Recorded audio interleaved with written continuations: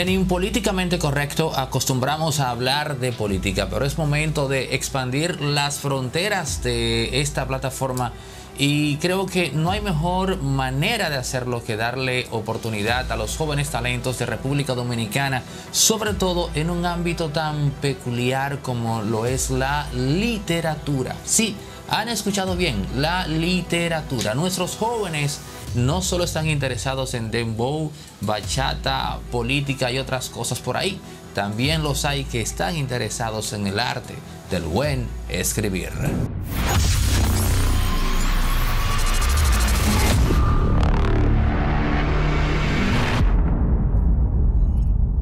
Emil, escribiste tu primer libro a los 12 años de edad. ¿Cómo se da ese proceso? Porque creo que eh, ¿en, qué, ¿en qué un joven dominicano o adolescente tiene o qué metas tiene a los 12 años? Muchas, pero difícilmente escribir una novela, un cuento, poesía sea una de ellas. Eh, yo estaba en el Ibón con mis dos amigos eh, Jesús Figueroa y Alexander García Vidal.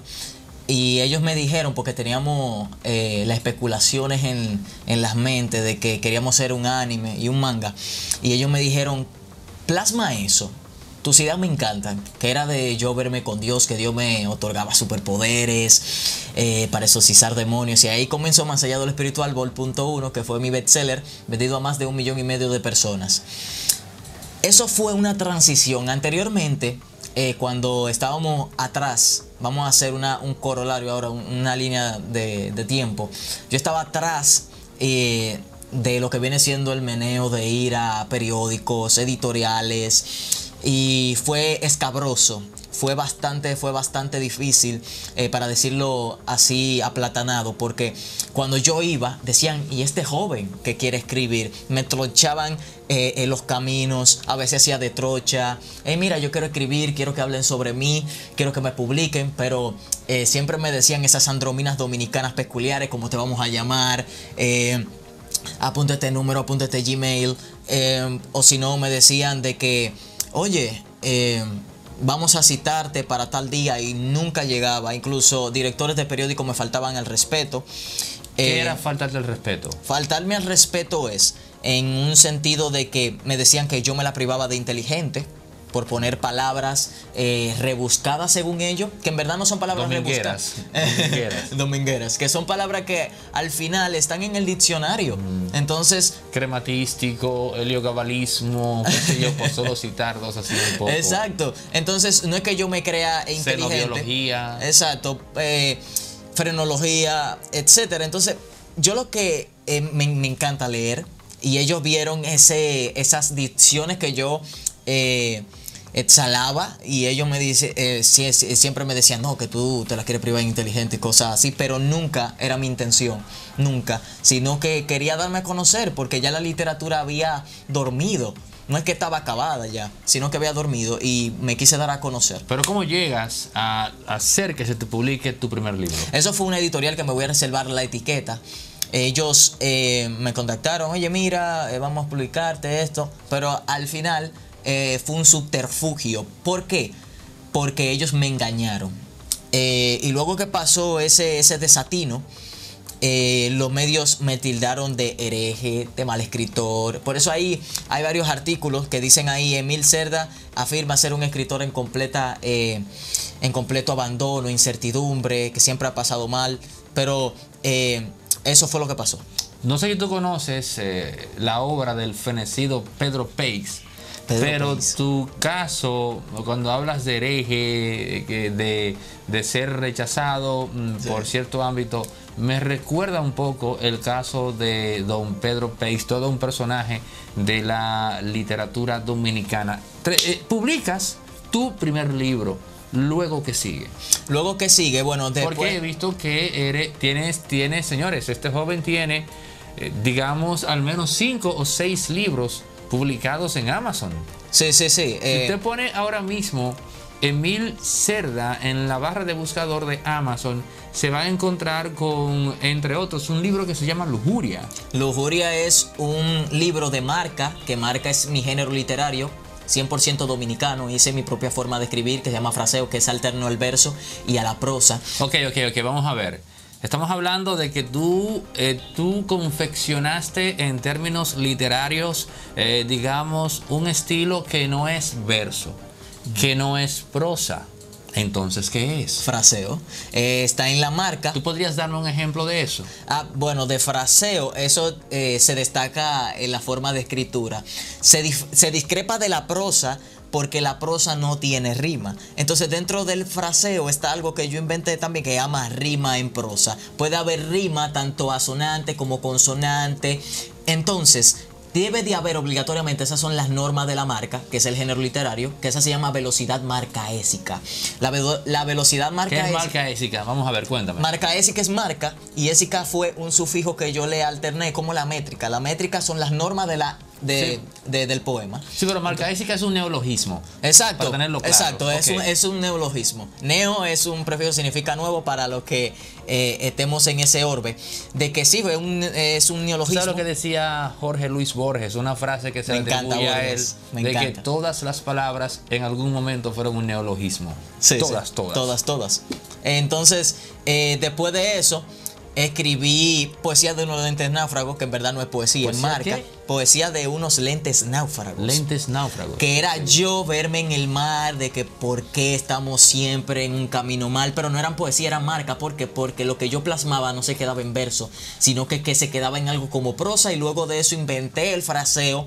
Muchos eh, dijeron, oye, pero eso es algo nuevo y así, y es eso, eh, os animo que, que investigáis acerca de lo que viene siendo la velocidad marca ésica y la marca, que hay documentos en academia.edu que pueden informaros mejor de esta información. De verdad que eh, se lo exhorto bastante. Le escribiste un poema dedicado a Juno Díaz, Sí, a Juno que Díaz. se hizo viral. Cuéntame Sí, sí. de eso. Eh, se hizo viral porque eh, yo estaba hablando en ese poema de que, una, todos cometemos errores. Segundo, de que si es un dominicano que por dada la O sea, o sea, situación estamos hablando de, de la vez en que Juno se vio involucrado en un tema en el cual una, una colega académica le, Sí, le sí. indilgó unos temas ahí. Sí, sí. Ok, perfecto. Continúa. Entonces eh, yo escribí ese poema, muy explícito por cierto, y se hizo muy famoso por la forma de yo escribir, porque yo tengo algo que eh, tenía eh, también Charles Bukowski, que lo amo bastante, que es el realismo sucio. Si yo tengo que decir una mala palabra en mis escritos, la digo. Bueno, pero Entonces, no solamente Bukowski, también lo hizo Henry Miller. Ajá, Henry Miller. Entonces, yo escribo muy, muy, muy, muy directo. O sea, no, no se me escapa una palabra a la hora de escribir y tengo que estar muy triste para escribir. Ok, ¿y Juno Díaz te contactó después de eso? No, no, no. Lo que sí me habían dicho es que sí se lo había leído, eso sí. Eh, pero fue avasallador porque tuvo buena aceptación y también mala de la emancipación. Eh, los periodistas que me tenían tirria eh, me ¿Pero dijeron... ¿Cuáles periodistas? ¿Dominicanos o en el Eh, extranjero? dos eh, dominicanos. En el extranjero, gracias a Dios, eh, me respetan y me quieren. ¿Por qué los periodistas dominicanos te tienen tirria? Bueno, vamos a hacer una anacronía ahora. Estamos aquí en el presente, vamos a irnos al pasado. Después que yo fui a esos periódicos a, a que hablen sobre mí y todo eso, ellos, eh, no sé si, se, si es que se sentían amenazados por cómo yo escribía. O que no sé en verdad, porque ellos son cronistas y yo soy escritor que no me enfoco en la crónica. No sé por qué. Entonces siempre me decían que yo me la eh, privaba en, en erudito, que de hecho soy considerado un erudito, aunque yo no me considero un erudito, aunque erudito es sinónimo de experticia, o sea, whatever. Entonces me decían que yo busca, eh, que yo ponía términos rebuscados y que para yo parecerme más culto, eh, que yo debía de escribir un lenguaje llano como Quevedo, pero lo que pasa es que ellos no saben que yo soy culterano barroco y que yo amo a Luis de Góngora. Si ellos son Quevedo, pues yo los respeto. Pero lo mío es el culteranismo. Me encanta leer, me encanta en vez de decir colmado, me encanta decir abacería. Y, y eso no me hace a mi culto. Esas son palabras que ya están creadas en el idioma español. Que usted diga aiga en vez de haya, bueno, son sus tópicos. Yo no me meto en eso. Entonces, básicamente, ellos me decían eso, que yo era un falso, un pseudo escritor, que pseudo es el prefijo de falso, yo no sé por qué ellos me tildaban así, pero bueno, todo en la vida, recuerden, que al árbol que está siempre frondoso le van a tirar fruta porque porque se quieren comer su fruto. Entonces, para mí no es algo nuevo de que siempre desde que nací la vida me ha estado dando duro y es porque mi propósito es no solamente ser un gran escritor dominicano, sino del mundo. Entonces, cuando tienes esa ambición, por ejemplo, en su caso a, Neudis, de ser un gran político, de ser un gran maestro de ceremonia, va a tener muchísimos problemas en la vida, problema económico. yo, solo, quiero ser a Neudis Santos. Pero siempre, siempre va a tener esos problemas de que le van a decir que no, que siempre va a tener problemas, wow, eh, eh, en las cosas, pero siempre te va a dar si tú tienes constancia en lo que haces. Pero mira, eh, en función de lo que acabo a decir, te preguntaría, tú, según tu percepción a tus escasos 20 años de edad, la prensa dominicana, el más media dominicano, entonces, ¿a qué le atribuyes eso? Es decir, ese rechazo a una forma distinta de comunicar, en este caso, como tú lo haces, eh, digamos, con términos que no son necesariamente llanos, que sean del entendimiento de la gleba, es decir, hay ahí un asunto de que quizás pueda ser que como, como llevar la soga o nombrar la soga en casa del ahorcado, por aquello de que podría recordar una ignorancia latente. Eh, es muy triste. Me incluso al que usted me dijo eso me, me enardece de, de tristeza y me da ganas de llorar porque estoy luchando de que aquí se lea de que dejemos de ser ignorantes, señores. Entonces, al verme a un niño de 15 años, de 14, de 12, eh, tratando de echar para adelante, yo no sé lo que tengan ellos en su ser. Yo lo que sé es que gracias a Dios y gracias a mí eh, he impulsado a que la literatura dominicana eh, sea, pro, sea más, más nivel estrambótica, por así decirlo, a grosso modo. La Biblioteca Real Neerlandesa, que ahí se encuentra una versión ebook de mi libro A Cronosología Hermética, que es mi antología. Luego que me llamaron y me dijeron, oye Mil, este, de Países Bajos, tu libro está aquí, yo dije, wow, no, espérate. No, espérate, esto está a otro level. Y luego el periódico más famoso de Chile, el ciudadano.com, publicó mi marca que se llama 2 y 57 AM porque eh, la terminé a las 2 y 57 AM de, de la mañana. Y ahí fue todo salía en revistas, salía y yo dije, wow, pero es verdad que estos años de escritura han sido han sido fructíferos, eh, ha, valido la pena tener que ir a pie, ha tenido que eh, valer la pena y todo eso, y por más que me utilizaron, por más que eh, hicieron subterfugios conmigo, todo valió la pena, porque ahora es mil cerdas y mil cerdas. ¿Cuál es la chispa que, o sea, que tiene que darse para que tú comiences cada obra? Bueno, como cada escritor, como por ejemplo Stephen King tiene que comer un pedazo de, de quesadilla o de bizcocho antes de escribir. Para escribir marcas. Eso, eso, hay que se deje de cosas, eso es un diabetes y punto. Yo, eh, para escribir marcas o poemas, necesito entrar en mi catábasis. Necesito estar muy, ¿Qué muy, es una catábasis? Una catábasis es un término psicológico en la que la persona hace una introspección a sí misma y se profundiza a un nivel tal que llega a ser consciente de algo más allá de su propio ser. Es algo metafísica y algo ¿Tiene que ver algo con la metanoia? Eh, por si acaso. Bueno, tiene que ver. Tiene, tiene que ver. Tiene una gran cohesión. Entonces, tengo que estar, oye, triste, la depre profunda, estar ahí a lo Marilyn Monroe. Esa es mi palabra de hoy, catábasis, me dices. Ajá, catábasis. Voy a estudiar sobre ella. Sí, sí, eh, la catábasis. Entonces tengo que estar triste y tengo que escuchar una canción que me lleve a llorar o a sentirme mal. Y ahí viene. Sentirte mal. Mal, pero mal. Pero eso no es masoquismo. Eh, bueno, podría decirse, pero e, es, algo como un alter ego, pero es algo inconsciente. Jekyll and Hyde. Bueno. Doctor Jekyll and Hyde. ¿Qué te digo? Eh, ¿Hay algo que debamos temer de ti? Bueno, yo creo que sí. A ver, explícame, cuéntame. Yo creo que se debe de temer de mí que soy una persona que, que aparte de que ha cometido sus errores como cualquier ser humano, lo admite. Es decir, que... Pero eso no es de temer, eso es de admirar. No, no, no, no es de admirar para las personas que, que me tildan de lo que no soy y cometen error de atribución y aseveran cosas que no son, pues eso es algo que yo me la estoy privando. Pero bueno, eso será su, eh, su vida. Pero siempre que cometo un error, un mistake, siempre me repongo. Soy como la águila que se remonta en las alturas y cuando se va a morir se, se despecueza todo y, y renace. Entonces, en, en, eh, para escribir, tengo que estar, uff, la depre, tengo que estar mal. Eh, la canción que me ha llevado a muchos escritos ahora mismo es Rolling de mi DJ. Eh, de, de, de mi DJ. Rolling, la de Rolling, Rolling, Rolling, no, esa. La no, de... no, no, no, no, señor, reprenda al diablo. No, no, no, esa, esa no. Okay. Eh, esa, Rolling de mi DJ favorito que es Calvin Harris con Future Okay. and Khalid. Esa canción ah, ah, y la que despierta el demonio, que es cuando yo estoy escribiendo, que los diarios me pusieron el demonio de la, de la poesía o de la escritura, porque cuando yo estoy en esa catábasis, yo pierdo el conocimiento de lo que escribo. Sonrío alocadamente y comienzo a escribir y luego es que me doy cuenta que escribí algo. Es Only What de Bob Bradley. Es una canción que no sé, no, no la puedo escuchar. Entonces, eh, tengo que estar ahí para escribir novelas cortas, que yo escribo no- novelas cortas, fábula o guiones cinematográficos o teatrales. Tengo que estar muy, muy estresado. Pero demasiado estresado. Mientras más bulla, mejor. Eh, tú escuchas black metal y todo eso. no, no, no, entonces. no, no, black metal no. Death metal. No, no, no. Tengo que estar estresado. Tengo que eh, escuchar algo, por lo menos un sonido o algo. No sé por qué.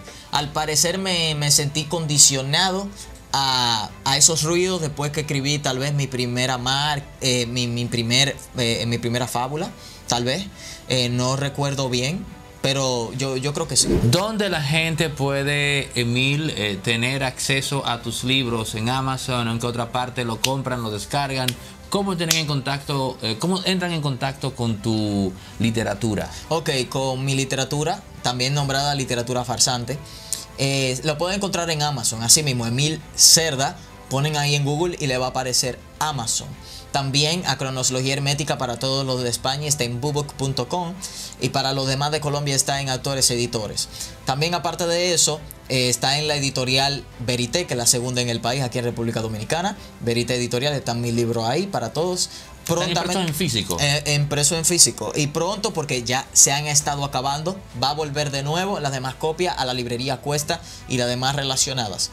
Eh, pero sí, cómpralo en Amazon. Amazon Prime yo creo que le va a llegar a uno o dos días a su casa. Pero si lo compran normal, tal vez le llegue al mes. Pero sí, todo aquello. Y pueden leer poema y marca mí en línea ahí en, en, en Google. Bueno, gracias Emil por compartir tus experiencias con nosotros. Esperamos que, bueno, son 20 añitos que tiene Emil Cerda, señores. O sea que te queda un largo camino. Te cuento que Humberto Eco comenzó su carrera de autor de ficción cuando tenía 40 años con la publicación de el bestseller mundial El nombre de la rosa. Pero también Andrés Saramago comenzó su carrera literaria muy tarde en su vida. Y eso no impidió que tuviesen éxito, pero en el caso tuyo, tú eres todo lo contrario, estás comenzando muy temprano. Sí, sí. Y aparte de que gracias a Dios, siempre le doy gracias a, a, a Elohim, de que me ha llevado donde yo estoy y a que a mi corta edad he ganado el premio eh, Joven Destacado 2019 junto con Smerly, Matías Lofoque Pamela Suet el 31 de enero del 2019. El premio Mención Especial Miner 2019 por haber escrito el guion teatral Pedro Mira en el mismo país. El récord Guinness en aplicar más figuras retóricas en una obra literaria y por escribir mi bestseller Más allá de lo espiritual, volumen punto uno. Eh, eso suena fascinante, pero te voy a hacer una... Tómalo como un consejo, como una sugerencia.